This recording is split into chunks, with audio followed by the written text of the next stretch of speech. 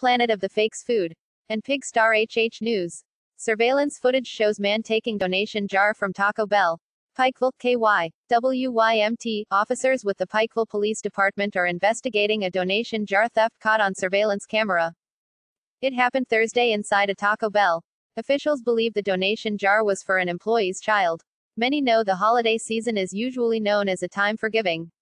Around the holiday season, you'll see a lot of these crimes increase, said Officer Joseph Sloan. However, some take advantage of those asking for donations. His behavior the whole time was suspicious, Officer Sloan pointed out. Officials said surveillance footage from inside the restaurant shows one man taking a donation jar.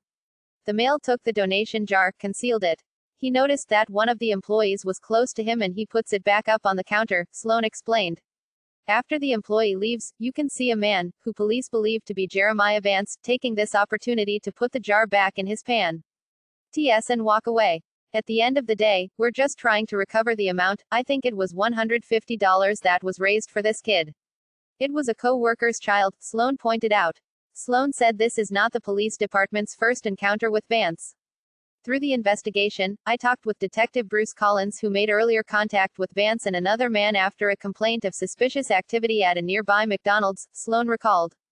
Detective Collins informed Officer Sloan that employees of McDonald's believed Vance was trying to get another customer's receipt in order to return to try to get free food. He was also seen on surveillance at Taco Bell removing tickets or receipts from the cashier counter at one of the registers prior to taking the jar, Sloan pointed out. Officer Sloan told WYMT this type of crime is heartbreaking, but it is even more sad during this time of the year. You kind of have to see that they put themselves in this situation and they have to face the consequences, said Sloan.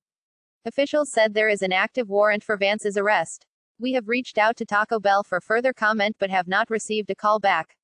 Anyone with information can contact the Pikeville Police Department at 606 437 6236. Keep in mind, you can remain anonymous. Like, comment, share, subscribe, follow, visit our community wall, but more importantly, go to www.amor-ica.com backslash TV. That's our